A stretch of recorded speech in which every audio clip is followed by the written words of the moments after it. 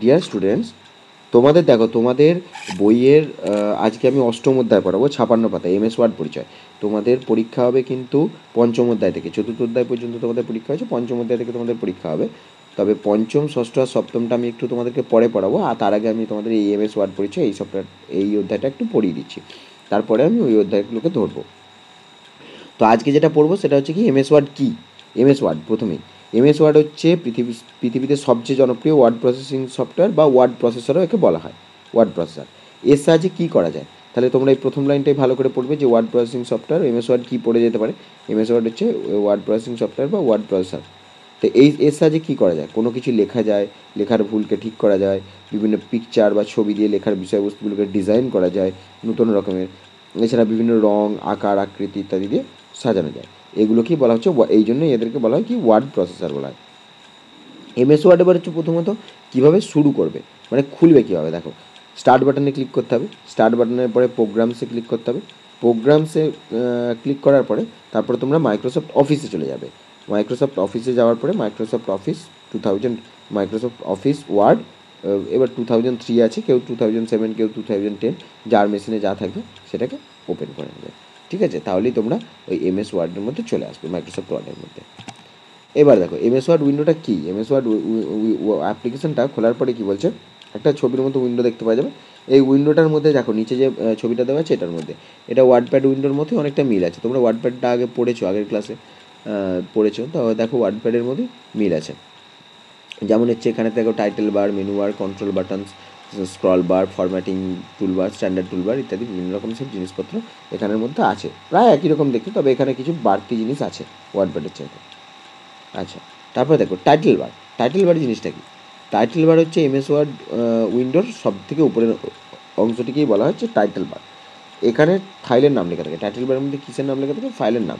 Title বারের ডান দিকে কী থাকে? তিনটে কন্ট্রোল বাটন থাকে, যেগুলো হচ্ছে মিনিমাইজ ম্যাক্সিমাইজ আর ক্লোজ বাটন ডান দিকে তিনটে। মিনিমাইজ ম্যাক্সিমাইজ আর ক্লোজ এই বাটনগুলোর সাহায্যে কী আছে? এই বাটনগুলোর সাহায্যে প্রত্যেকটার কাজ আছে। মিনিমাইজ বাটনে ক্লিক করলে এটা টাস্ক বারে চলে আসবে। যেটা তোমার কাজ করছে সেটা টাস্ক বার চলে আসবে। এবার টাস্ক বার কোনটা? টাস্ক বার হচ্ছে কম্পিউটারের এই নিচের দিকে। এখন সময় সন্ধ্যা এবার দেখো টাস্ক বারে চলে আসে। ম্যাক্সিমাইজ বাটনে যদি ক্লিক করা হয় ম্যাক্সিমাইজ বাটনে ক্লিক করলে কী হবে? উইন্ডোটা অনেক বড় হয়ে যাবে। মানে সবচেয়ে বড় হয়। ছোট বড় করা যায় ওটাকে। আচ্ছা আর ক্লোজ বাটনে ক্লিক করে দিলে অ্যাপ্লিকেশনটা বন্ধ হয়ে যাবে। এই সমস্ত কাজগুলো এর মধ্যে দিয়ে হয়। আচ্ছা তারপর হচ্ছে মেনু বার দেখো। মেনু বারে কী করে? টাইটেল বারের ঠিক নিচের অংশটাকে বলা হচ্ছে মেনু বার মেনু বারে কটা মেনু থাকে? মেনু বারে নটা মেনু আছে। File edit view insert format tools tables window আর হেল্প এই মেনুগুলোর ভিতর বড় অনেক কমান্ড আছে। ঠিক আছে? যেগুলোতে ক্লিক করলে আমরা নানা রকম কাজ করতে পারি। এগুলো তোমরা যখন কাজ করবে, তখন বুঝতে পারবে আরও ভালোভাবে। তবে হ্যাঁ এই মেনু বারগুলোর মধ্যে অনেকগুলো অপশনস রয়েছে। ঠিক আছে? আর তোমাদেরকে আমি আরও পরে পরে যখন পড়াবো, দেখতে পাবে তোমরা কাট কপি পেস্ট এই সমস্ত কাজগুলো হবে, সবই মেনু বারের মধ্যে দিয়ে। এরপর আসছে কি? স্ট্যান্ডার্ড টুলবার স্ট্যান্ডার্ড টুলবার কোনটা? মেনু বারের ঠিক নিচের অংশটা হচ্ছে স্ট্যান্ডার্ড টুলবার স্ট্যান্ডার্ড টুলবারে কী আছে? ছোট্ট ছোট্ট আইকন দেখো স্ট্যান্ডার্ড টুলবারের ছবিটা এখানে দেওয়া আছে। এই যে বিভিন্ন রকমের আইকন দেওয়া আছে, এদের প্রত্যেকটার কাজ আছে new save open print copy undo redo cut paste zoom ইত্যাদি। এইগুলো হচ্ছে করা যায়। ঠিক আছে? এটার মধ্যে দিয়ে স্ট্যান্ডার্ড টুলবার তারপর হচ্ছে কি ফরম্যাটিং টুলবার স্ট্যান্ডার্ড টুলবারের নিচের বারটাকে বলে ফরম্যাটিং টুলবার এটাও না ওর মধ্যে কতগুলো ছোট ছোট অপশন রয়েছে।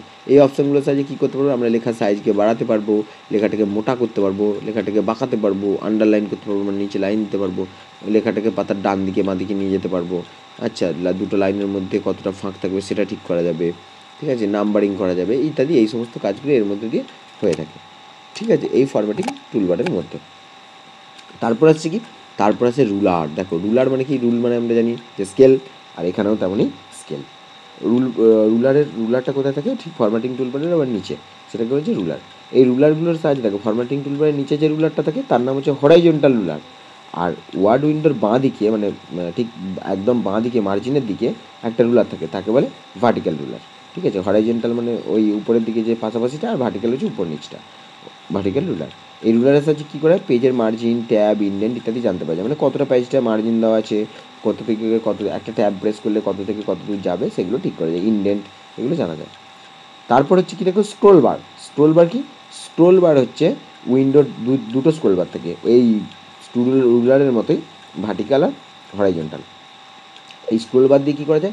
পা- কোনো পাতাকে, যে পাতাটা আমরা কাজ করছি, সেটাকে উপর নিচে নামাতে পারব, পাশাপাশি ডান দিক বাঁ দিক করতে পারব। এই সমস্ত কাজগুলো আমরা স্ক্রোল বারের সাহায্যে করে থাকি। তারপর হচ্ছে কি ডকুমেন্ট এরিয়া দেখো ডকুমেন্ট এরিয়া মানে হচ্ছে যে জায়গাটা আমরা কাজ করব মানে পাতাটা, যে সাদা ফাঁকা জায়গাটার মধ্যে দিয়ে আমরা টাইপ করি মানে টাইপ করে যেখানটাতে লেখাটা ওঠে বা কোন- কোনো কিছু ছবি আনলে, যাবতীয় যা কাজ করা হবে সেটা এখানের মধ্যেই হয়। এটাকে বলা হয় ডকুমেন্ট এরিয়া এর মধ্যেই যাবতীয় টাইপের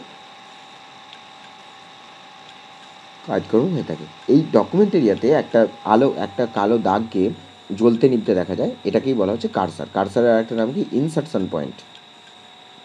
Insertion point insertion point মানে হচ্ছে যেখান থেকে শুরু হয়, বা কারসারও বলে এটাকে। এই এখান থেকে কারসার কি? যখনই আমরা কোনো কিছু লেখাকে টাইপ করব, তখন দেখবে এই কারসারটা যেখানে থাকবে, সেখান থেকেই লেখাটা শুরু হবে। তো তোমাদেরকে আজকে আমি এই ডকুমেন্ট এরিয়া পর্যন্ত পড়ালাম। এই ড্রয়িং টুলবার থেকে আমি তোমাদেরকে পরের দিন পড়াবো। চ্যাপ্টারটা শেষ করার পরে আমি তোমাদের যা অনুশীলনী প্রশ্নপত্রগুলো আছে, সেগুলোকে করে খাতায় পাঠাবো। ওগুলো তোমরা খাতায় লিখবে, লিখে ভালো করে পড়বে, যাতে তোমাদের পরীক্ষার সময় কোনো অসুবিধা না হয়। আর তোমাদের প্রশ্নপত্র তো অনুশীলনী থেকেই পড়ে সব সময় এবারেও তাই পড়বে। ভালো থাকবে, সুস্থ থাকবে, মন দিয়ে